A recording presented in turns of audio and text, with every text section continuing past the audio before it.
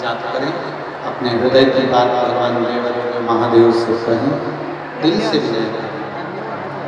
श्री शिवाय नमस्ते।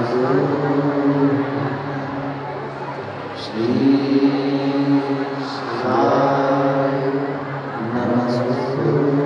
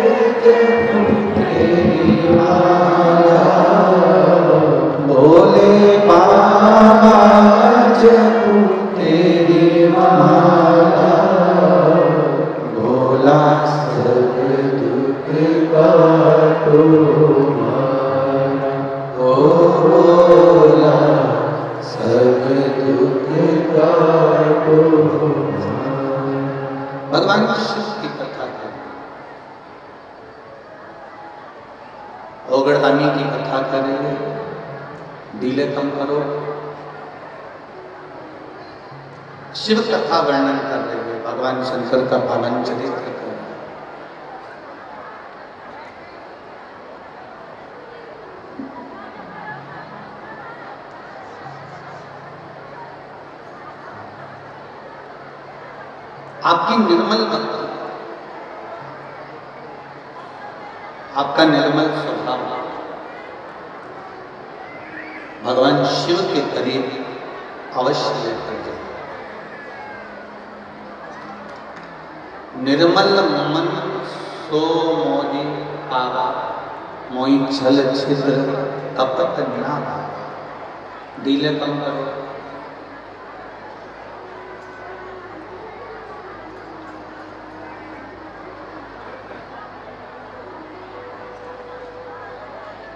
निर्मल स्वभाव यदि आपका है, निर्मल मन यदि आपका है तो आप परमात्मा के नज़दीक अवश्य पहुँचे।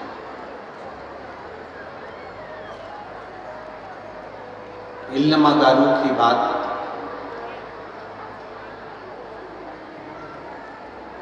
देवऋषि नारद ने माता पार्वती जी से कही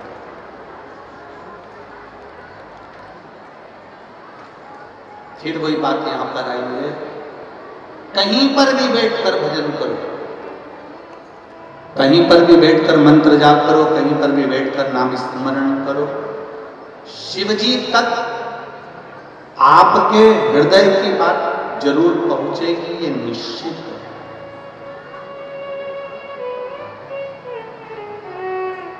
निश्चित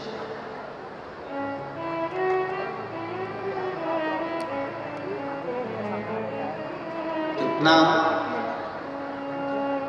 हमारे यहाँ के दर्जी इतने समझदार होते हैं, जो कपड़े सिलने वाले होते हैं, उनको भी ये मालूम है कि कुर्ते में, शर्ट में, कपड़े में जेब भी लगाते हैं ना तो उल्टी हाथ की ओर लगाते हैं। कौन से हाथ पे लगाते हैं? जम के बोले थे ना, उल्टे हाथ, लेफ़्ट की ओर, उल्टे हाथ की ओर जेब लगाते हैं।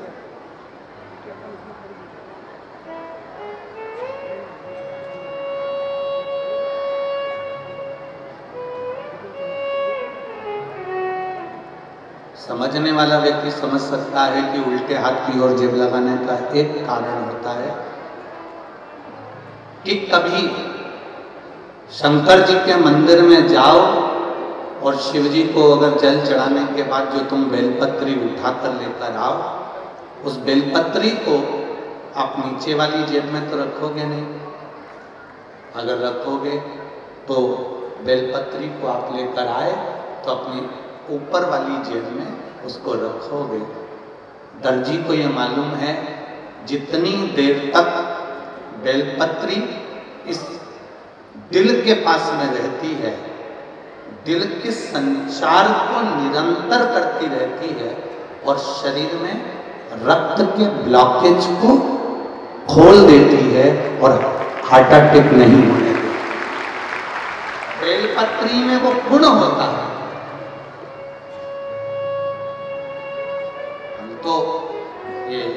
जितने भी पुरुष लोग मंदिर में जाते हैं जल चढ़ाने के लिए, भगवान शिव का गुणगान करने के लिए, शिव जी को बेलपत्र चढ़ाने के लिए, शिव जी के मंत्र का जाप करने के लिए, शिव स्मरण करने के लिए, हम उनको हमेशा कहते रहते हैं कि शिव जी पर अगर बेलपत्र चढ़ी है आपकी उल्टी जेब अगर लगी है तो एक बेलपत्री खाने से पहले थोड़ी देर जेब में रख लिया करो, जिससे आपके हृदय का रक्तचाप ठीक चलता है।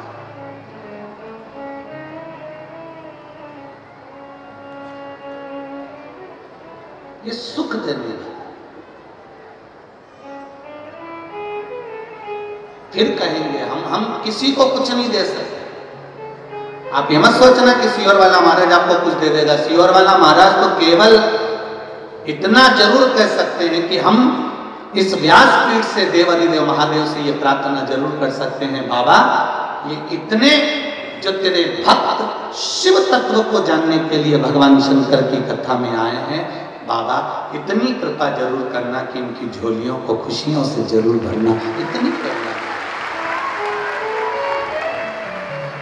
हम कुछ नहीं दे सकते, पर मेरा भोलेनाथ को दे सकता एक पत्र आया है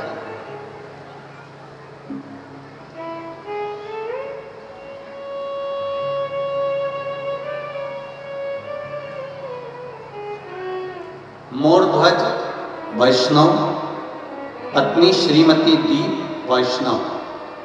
निवासी ग्राम कोहका, डोंगर गाँव, जिला राजनंद गाँव से आए हैं। हमारा मोबाइल नंबर ये कहीं बैठे हैं। हाथ हिलाइएगा जहाँ कहीं बैठे हो। कहीं पर भी बैठे हो। मोर ध्वज वैष्णव। आप ही हैं? हाँ दोनों हाथ हिला दो हाँ। श्री शिवाय। एक बार दोनों हाथ इस तरह से हिला दो। श्री शिवाय नमस्तोभ्यम पहले तो आपको बधाई। बाबा देवादी देव महादेव ने जो आपको दिया है, भगवान इसी कृपा सब पर कर कर रखे। गुरुदेव, मेरा गाँव कोहका तो जैसे शिवलोक हो गया है। जब भी जाओ शिव भक्तों की लाइन शिव मंदिर में लगी रहती है। पहले शंकर के मंदिर में कोई नहीं जाता था, गुरुदेव। कोई पुजारी, कोई पंडित भी शिव मंदिर में नहीं बैठता था। अब शिव मंदिरों में भीड़ होने से बाबा देवादिदेव महादेव का आनंद है। गुरुदेव, बाबा देवादिदेव महादेव की कृपा हमारी शादी को दस वर्ष हो गया था, परंतु हमें संतान का सुख नहीं मिला। हमने काफ़ी इलाज करवाया। डॉक्टर ने पत्नी के गर्भ में गांठ की समस्या बता दी, उस समस्या के लिए हमने ऑपरेशन तक करवा लिया तो भी संतान का सुख नहीं हो पाया। पत्नी को गर्व नहीं ठहरा और गुरुदेव, हमें कोई लाभ कहीं से नहीं मिला। हम ज्योतिष का सहारा भी लिए, उन्होंने ग्रहों का खराबी बताया और वास्तु दोष का समस्या बताई। हमने वो भी करा, गुरुदेव। फिर भी हमें कोई फ़ायदा नहीं मिला। हमें लाभ नहीं मिला। ये सारी बातें 2018 तक हम सब कुछ कर लिए गुरु जी पर कुछ भी नहीं हो पाया। गुरुदेव, हम काफ़ी निराश हो गए थे फिर पत्नी के मन में विचार आया कि मैं भगवान की आराधना में करती हूँ। शिव जी को एक लोटा जल चढ़ाना प्रारंभ करती हूँ, लड्डू गोपाल का पूजन करना प्रारंभ करती हूँ। आपकी कथा, हमने आस्था चैनल में कथा सुनी और कथा श्रवण करी जब पिछले वर्ष हाले कोसा में आपकी कथा थी, तब हमने टीवी के सामने कथा सुनकर भगवान से प्रार्थना करी कि हमारे छत्तीसगढ़ में कथा हो रही है। हे भोलेनाथ, सब दूर से हार गए, अब आपकी हाजिरी है। कृपा करिएगा, हाले कोसा तो दूर था गुरुदेव, फिर भी हम पति पत्नी ने सात दिन तक कथा पहले टीवी के अंदर दो तीन दिन श्रवण कर कर एक दिन आपने कहा था कि जो पंडाल में बैठता है, उसको बाबा ज़रूर कुछ देता है। हमने हाले कोसा में जाकर एक दिन की कथा सुनी। तीन महीने के अंदर मेरी पत्नी का गर्भ गिर गया। अभी सातवां महीना चल रहा है, गुरुदेव। इसलिए मेरी धर्म पत्नी यहाँ नहीं आई है, पर बाबा को मैं धोख लगाने के लिए आया हूँ कि तूने तीन महीने में मेरी गोद भर ली ये क्या वो घड़ी बैठिए। मोरध्वज वैष्णव जी, बैठिए। श्री शिवाय, नमस्ते। क्या देगा वो उसके ऊपर? क्या प्रदान करेगा वो उसके ऊपर? आप तो केवल तेरे मंदिर में आना मेरा काम है और मेरी बिगड़ी बनाना तेरा मैंने तेरे ही भरोसे ओ बाबा, तेरे ही भरोसे। हवा बिच उड़ती जावांगी। बाबा डोर में कटी भोले मेरे शंभो हवा बिच उड़ती बाबा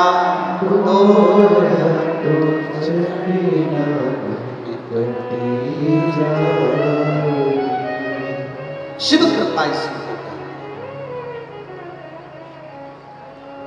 आप किस भाव से बैठे हो?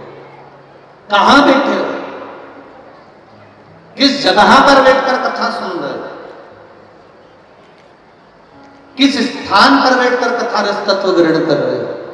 ये तो बाबा ही जान सकते। इल्लमा गारू अपने पति के साथ में गाँव में चली गई। गर्भस्थ बच्चा जो आठ महीने का हुआ था, उसको समी के पत्ते से दबाकर समी के पेड़ के नीचे छोड़कर चले गए हैं। रोती रोती गई है कि मैं काशी जा रही हूँ, शिव के द्वार जा रही हूँ, शंकर के द्वार जा रही हूँ, और तू भी मेरे ललाट पर शिवजी ने ये दुख लिख दिया।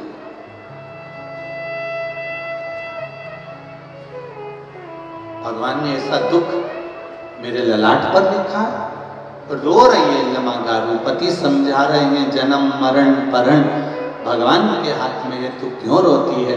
इल्लमा गारू रोते रोते कहती है, अगर मेरा बेटा मरा हुआ हुआ है तो ये तो बड़े दुख की बात है, क्योंकि मैं शंकर के मंदिर काशी जा रही हूँ, शिव के द्वार जा रही एक लोटा जल लेकर जब हम अपने घर से निकलते हैं ना, शिव जी के मंदिर पर, ये मेरी बहनें, ये मेरे भाई, ये मेरी बेटियाँ, ये मेरे बेटे, ये नवयुवक, जितने भी भाई बहन एक लोटा जल लेकर अपने घर से निकलते हैं ना, ये अपने घर से जब निकलते हैं, तब भगवान का नाम लेकर निकलते हैं कि मैं शंकर जी के मंदिर एक लोटा पानी चढ़ा के आ रही हूँ। बोलते हो कि नहीं बोलते? कोई पूछे तुमसे, कहाँ जा रही हो? अभी एक लोटा पानी चढ़ा के, अभी शंकर जी के मंदिर जा रही हूँ। शिव जी को एक लोटा जल चढ़ा के आ रही हूँ। तुम ये नहीं कहकर जा रही कि मैं पड़ोसन के घर से आ रही हूँ। मैं अपने रिश्तेदार के यहाँ से आ रही हूँ। मैं रिश्तेदार के यहाँ जा रही हूँ। आपके मन में भाव आपके मन में शब्द, आपकी जिभ्या पर शब्द, एक ही है। मैं अभी शंकर जी के मंदिर जा रही हूँ, एक लोटा जल चढ़ा कर आ रही हूँ। अर्थात, आप शंकर के द्वार गए हो, आप शिव की चौखट पर गए हो, जितनी देर आप अपने घर से चलकर, जितने कदम चलकर शंकर जी के मंदिर पर पहुँचे हो, उतने कदम चलकर मेरा कैलाश अधिपति तुम्हारे दरवाजे पर पहुँचा है। तुम्हारे दुख तुम्हारे कष्ट को काटा।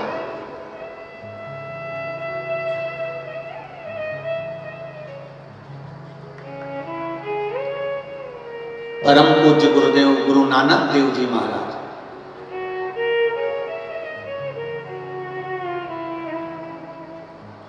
गुरु नानक देव जी महाराज अपनी वाणी में हमेशा कहते हैं कि जपया, जिसने जपा है जिसने भगवत नाम को जप लिया है, जिसने गुरु नाम को भगवत नाम का जप कर लिया है, गुरु नानक देव जी कहते हैं, उसका संकट जिसका नाम जपा, उस जपे हुए नाम से ही कट गया है, ये गुरु नानक देव जी कहते हैं। जपया, जिसने जपा गुरु नानक देव जी वाले से कहते हैं कि जिसने नाम का उच्चारण कर लिया, भगवत नाम जप लिया, भगवत कीर्तन का नाम, भगवत स्मरण का नाम जिसने जपा है, जिसने प्रभु नाम को जपा है, उसका संकट उसी नाम ने काट दिया। गुरु नानक देव जी महाराज।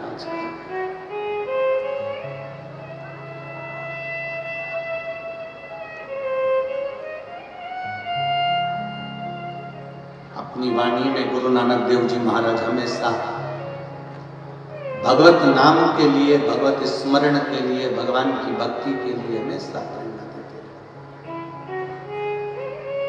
वो तो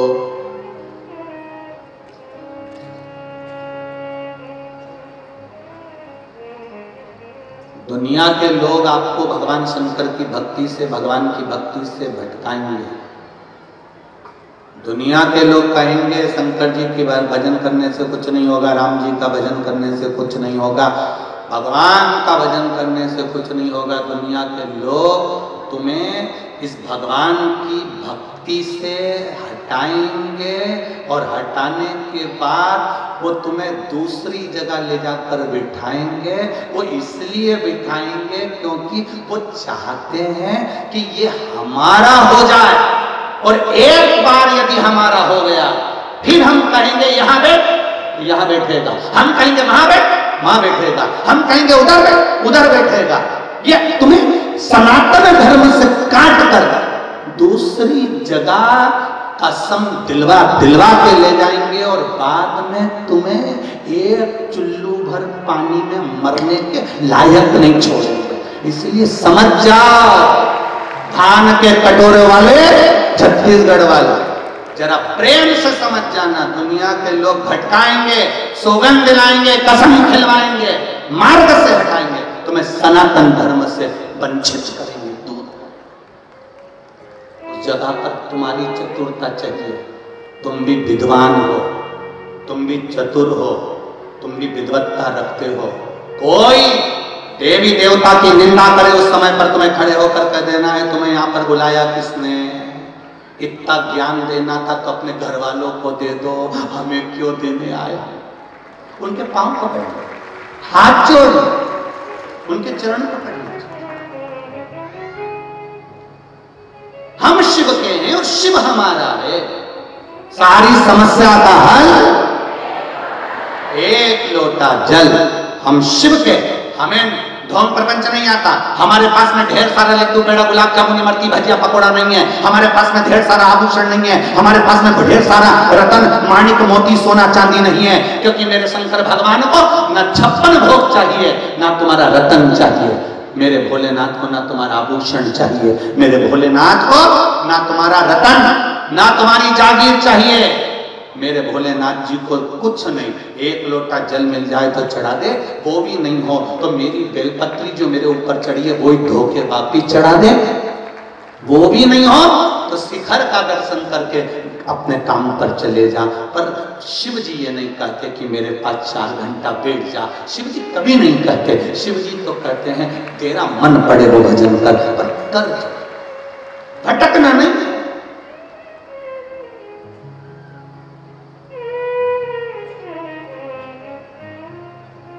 बेटा डॉक्टर को दिखाएगा। बहू तुम्हारी सेवा कर देगी। पर तुम्हारे शरीर में अगर रोग हुआ है, तुम्हारे शरीर में कष्ट आया है, उस कष्ट का बोझ, उस कष्ट को तुम्हारा ना बेटा झेलेगा, उस कष्ट को ना तुम्हारी बहू झेलेगी। उस कष्ट को तुम्हें अकेले झेलना है। तुम्हारे कर्म की लिखी हुई गति को तुम्हें अकेले भोगना है। अगर अकेले भोगना है तो बेटा अपना काम करे, बहू अपना काम करो, तुम अपना काम करो। शंकर जी के मंदिर जाकर एक लोटा जल समर्पित करना प्रारंभ करो। तुम्हारी कर्म की गति सुधरना प्रारंभ करो। एक पत्र और देखिए। पत्र तो इतने आए हैं कि मैं क्या वर्णन करूँ? आप लोगों की भक्ति तो धन्य है। छत्तीसगढ़ की पावन धरा। धन्य।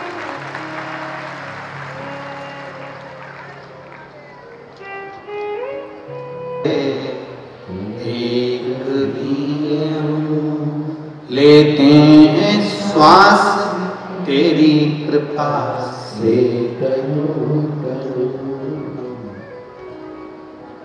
गंगाधार मुक्ति ओमकार आयो शरण तिहार शंभु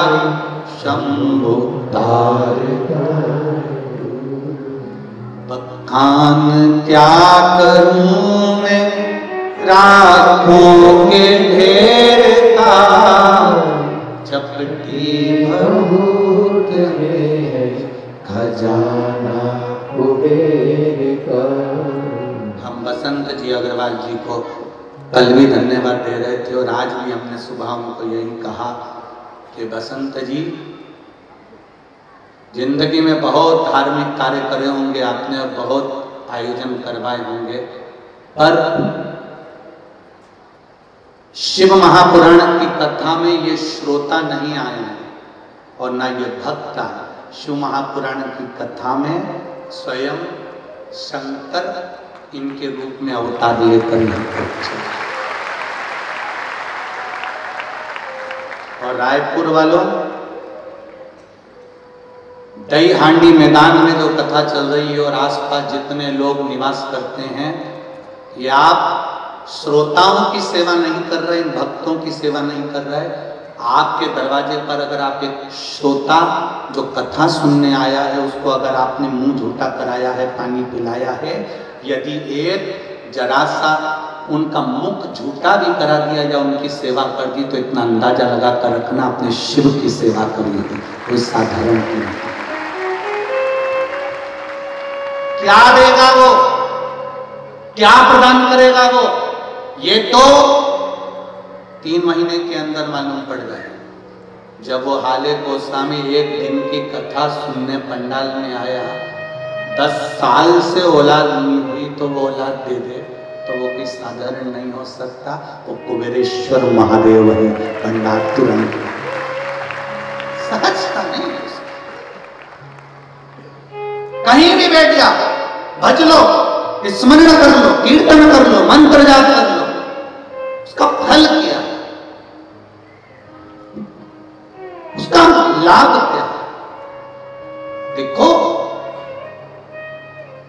इल्लमा गारू श्री लक्ष्मण भट्ट जी के साथ में दूसरे नगर में, दूसरे गाँव में गई और रो रही है। मैंने शंकर पर विश्वास करा, मैंने शिव पर विश्वास करा। काशी जा रही हूँ और काशी जाने वालों के साथ ऐसा हो। पति ने कहा, ऐसा नहीं है, कर्म ललाट पर जो लिखा है वो होता है। गारू मानने को तैयार नहीं। माताएँ, जब उनका विश्वास टूटता है किसी माता का, मानती नहीं है। ऐसा हो ही नहीं सकता। मैं शिव के मंदिर जाती हूँ, मैं भगवान का भजन करती हूँ, मैं मंत्र जाप करती हूँ, मैं कीर्तन करती हूँ और भगवान मेरे साथ ऐसा करेगा, यह हो नहीं सकता। वो मानती नहीं है, विश्वास दृढ़ है। भरोसा पक्का। और रखो, भगवान पर ऐसा भरोसा रखना कैसा? जैसे तुम्हारे पास में दो लाख रुपए हैं और तुमने नया नया ड्राइवर रखा। नया और दो लाख रुपए तुम्हारे पास में है और तुम्हें उसको घर भेजना है। तुमने अपने साथ वाले ड्राइवर को देखा कि, अरे, ये तो अभी नया नया आया है। दो लाख रुपए इसके हाथ में कैसे दे दूँ? तब वहीं पर से तुम्हारा लड़का सामने से पैदल आ रहा था। छठी क्लास में पढ़ता था। सिक्स क्लास में पढ़ता है छठवीं में पढ़ता है, और तुमने अपने बच्चे को बुलाया। इधर आ। हाँ पापा, ये बैग घर ले जा, तेरी मम्मी को दे देना। हाँ पापा।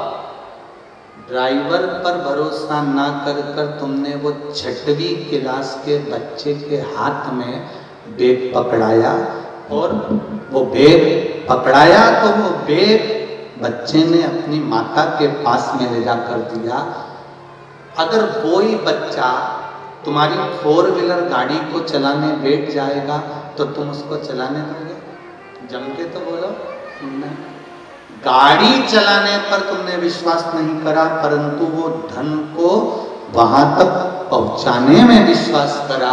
उसी तरह शिव महापुराण पर विश्वास ऐसा करना कि ये हमें परमात्मा तक पहुँचा कर रखिए निश्चित।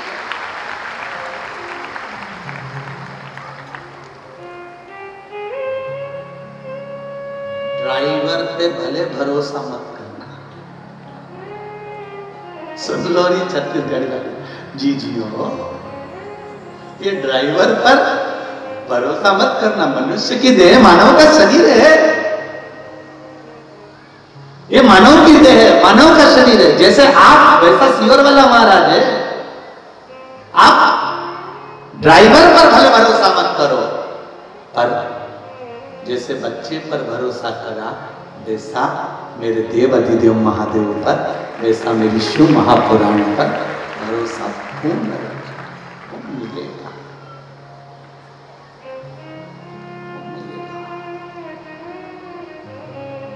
उस पर भरोसा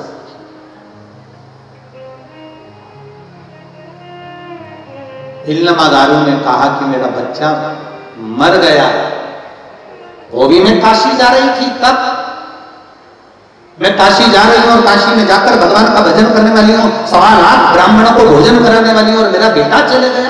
ये दुख है मेरे जीवन में। ये मेरे तकलीफ़ है मेरे जीवन पति ने समझाया, पर नहीं समझी, नहीं मानी। तब देव ऋषि नारद ने पार्वती जी से कहा, आप कुछ करोगी नहीं? पार्वती मैया ने कहा, नारद जी, चिंता मत करो। अगर वो काशी जा रही थी, पार्वती माता कहती हैं, सुनो देव ऋषि नारद, जो शिव महापुराण की कथा में जाता है, शंकर के द्वार जाता है, शंकर भगवान के मंदिर देवालय तक जाता है, जब तक वो मंजिल तक नहीं पहुँच जाता, तब तक शंकर उसके साथ कदम से कदम मिलाकर चलते रहते हैं। तो दुख कैसे आया? दुख आया कैसे? पार्वती जी ने एक लोटा जल शिव जी को चढ़ाया। देव ऋषि नारद खड़े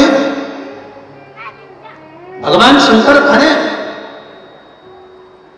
और एक लोटा जल पार्वती जी ने शिव जी को चढ़ाया। जैसे ही पार्वती जी ने भगवान शंकर को जल चढ़ाया, शिव जी के नेत्र खुल गए, नेत्र खुले। खुलते से पूछा, गौरा, क्या बात गौरा, हुआ क्या? क्या बात है? बोलो गौरा। गौरा कहती हैं, पार्वती जी कहती हैं, आपके तेज पुंज को अग्नि देवता ले जाकर गंगा जी के जल में देते हैं तो उससे सदानंद कार्तिकेय का जन्म हो जाता है। तो किसी नारी का बच्चा आठवें महीने में जन्म ले लिया और वो शमी के पेड़ के नीचे पड़ा हुआ है, पत्तों से ढका हुआ है, वो मरा हुआ है। जब आपके तेज पुंज को अग्नि देवता गंगा के जल में देकर पुत्र प्रकट कर सकते हैं तो क्या आपके कहने पर मरा हुआ बच्चा जीवित नहीं हो सकता? मरा हुआ बालक जीवित नहीं हो।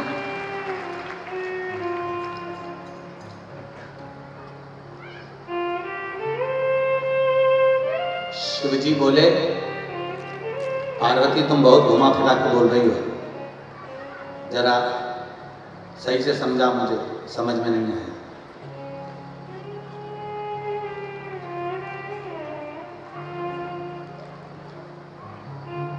बोलो जरा क्या बात है।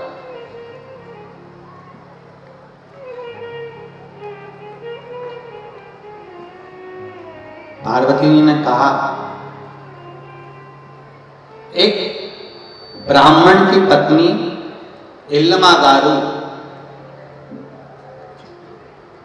चंपावन में अपने बच्चे को प्रसव के कारण जन्म दे देती है आठवें महीने में और उस इल्मा गारू का बच्चा आठवें महीने का मरा हुआ प्राण त्यागी हुए हुआ है।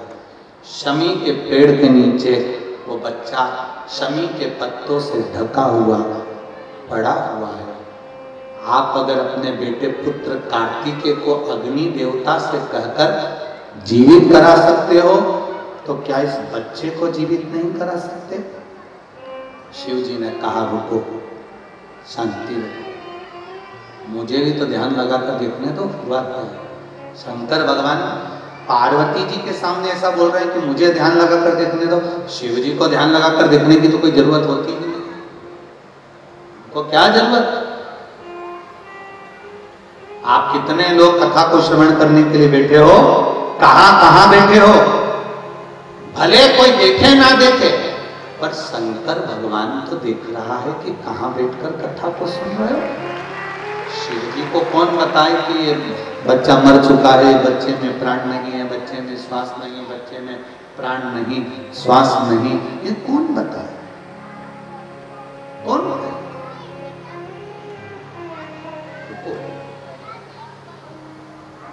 शिव जी ने ध्यान लगाया। स्मरण किया। ध्यान में आया।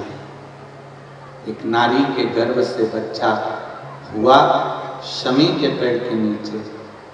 एक क्षण की देरी नहीं करी। शंकर भगवान ने उसी समय डमरू बजा दिया। उसी समय बजा शिव जी भी तुम्हारे जैसे ही शंकर भगवान भी तुम्हारे जैसे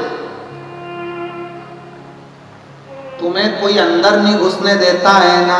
ये ये। इस बैरिकेड वाली और उस बैरिकेड वाली।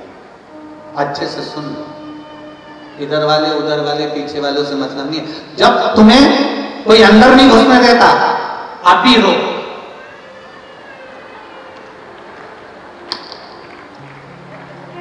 अभी और तुमने मोबाइल लगाया। दरवाजे पे खड़े हुए द्वारपालों ने पूछ लिया, दरवाजे पर जो खड़े थे, किसको लगा रही हो? रुक तो सही अभी तू। रुक। अब भी रुक और उसने मोबाइल लगाया, ले बात कर लो। और उसने तुरंत हाँ सर, कौन बोल रहा? है तो मुझे जानता नहीं है।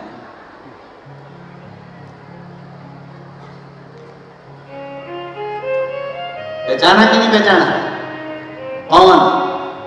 भेरू।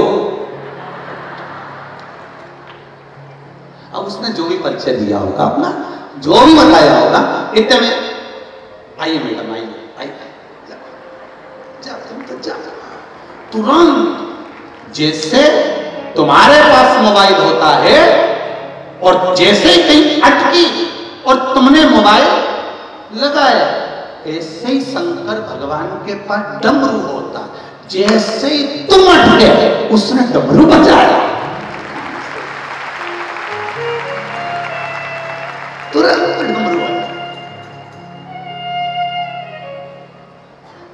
इसीलिए तो अकड़ में कहते हैं जो शंकर भगवान को जल चढ़ाने वाला होता है, शिव जी की पूजन करने वाला होता है, शंकर के मंदिर जाने वाला होता है, शिव की कथा सुनने वाला होता है, शिव महापुराण की कथा सुनने वाला हमेशा अकड़ में कह देता है फालतू की बात करना मती, तू मुझे जानता नहीं, मैं शंकर जी का गुणगान करने वाला, शिव का भजन करने वाला, तू मुझे जानता नहीं है, फालतू की बात मुझसे मत कर, श्री शिवाय। वो बोले ही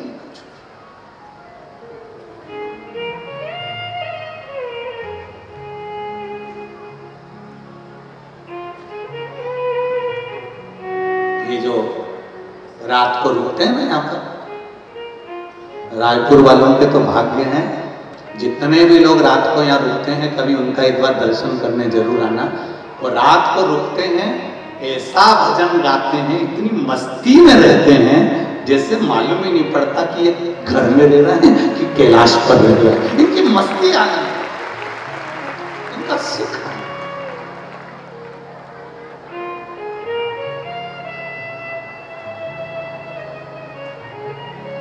बाहर से कितने लोग आए? जरा हाथ उठाओ तो जो रायपुर के बाहर के बहुत सारे हो रहे उठा। वापिस धरो वापिस और जो रायपुर से आए वो तो तुम भी बहुत हो रहे। धरो बहुत हो रहे। होना चाहिए। पक्षियों से कुछ सीखो, चाहे मत सीखो, पर पक्षियों से एक बात हमेशा सीखना चाहिए। पशु और पक्षी से एक बात ज़रूर सीखो। जब तुम रायपुर से भिलाई के लिए जाओ तो बीच रास्ते पर जब तुम गायों को देखना गौ माताओं को देखना, जहाँ पर एक गाय होगी, वहाँ चार पाँच गाय ज़रूर इकट्ठी होगी। बोलो सही है कि जगह जहाँ एक बंदर होगा, वह चार पाँच बंदर ज़रूर होंगे। जहाँ एक पक्षी होगा, वह चार पाँच पक्षी ज़रूर होंगे। ये हमें पशु पक्षी से सीखना चाहिए कि संगठित रहेंगे तो दुनिया में कोई आक्रमण नहीं कर सकता